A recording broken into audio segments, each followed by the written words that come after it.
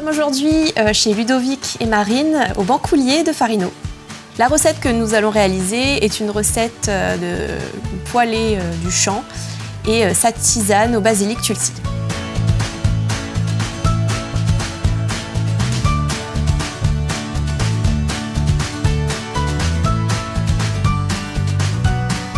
On essaye de planter beaucoup de variétés qui sont adaptées au pays, qui euh, permettent de supporter les euh, conditions climatiques, que ce soit El Niña ou El Niño.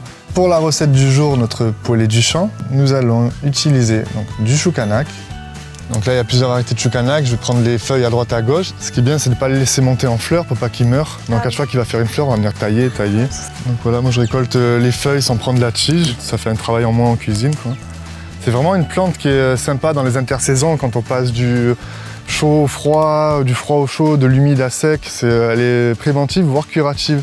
C'est bien de, se faire des bonnes cures sur un mois ou deux, d'en manger. Alors là, c'est le haricot dolique égyptien, qu'on appelle aussi haricot mange-tout. C'est un haricot euh, qu'on peut manger euh, cru ou cuit. Ah, quand il est jeune, il n'a pas de fil. Quand il commence à vieillir, il a un léger fil. Ça ressemble au haricot vert, vert classique. Les fleurs sont comestibles. Euh, voilà, ouais. De l'ail, du basilic vert et les petites fleurs euh, comestibles, du loufa, du soyo, de l'huile de coco. Ben, le loufa, du coup, mangé jeune comme, euh, comme ça, il remplace vraiment la courgette qui, elle, est difficile à planter, qu'on ne va pas pouvoir valoriser toute l'année, alors que lui, toute l'année, on peut en planter. C'est une plante qu'on valorise en, en éponge multi-usage. Ça peut être pour du cosmétique ou euh, même nettoyer une voiture ou de l'éponge pour de l'éponge. Et du tulsi. Alors c'est une plante qui est vénérée en Inde en fait. Ils disent que si on la boit tous les jours, on n'est jamais malade. Donc euh, elle a pas mal de propriétés. Hein, euh, à boire le matin, à boire le soir, à boire après un repas, comme ça peut être le cas souvent dans notre table d'hôte. Voilà, maintenant on va aller cuisiner tout ça.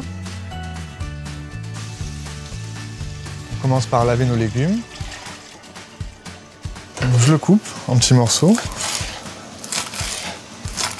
Donc je balance dans, dans l'eau chaude ce qu'on a coupé. là on va faire bouillir euh, un petit moment, le temps que ça perd son euh, vert un peu clair, que ça fonce un peu. On fera après sauter à la poêle avec un petit peu d'huile de coco. Voilà, bien mélanger tout ça. Bon, ben, on va nettoyer les petits haricots d'olique. On va l'éplucher simplement à l'économe.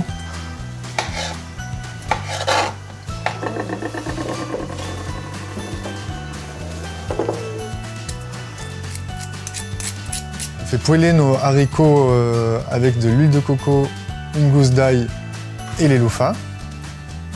On rajoute du soyo. Voilà. ça va nous faire un petit jus, une petite sauce sympa. Ça donne de la couleur au loufas. Je recouvre d'un petit peu d'eau. Je le laisse mijoter deux minutes. Il a déjà bien réduit. Et c'est prêt, il n'y a plus qu'à dresser. Je prends un emporte-pièce, je fais un bon petit lit de choucanac je verse dessus ma mixture de haricots égyptiens et de loufa. Et en décoration, je vais mettre trois petites fleurs d'olique égyptien. Pour accompagner ce repas, on fait une infusion de tulsi qu'on peut boire pendant ou après pour la digestion. Là, on l'a fait euh, sous forme d'accompagnement, donc euh, pourquoi pas ajouter de la viande ou du poisson, etc. Mais aussi, euh, pourquoi pas l'avoir en entrée d'un repas, euh, voilà, ça convient très bien et c'était très bon.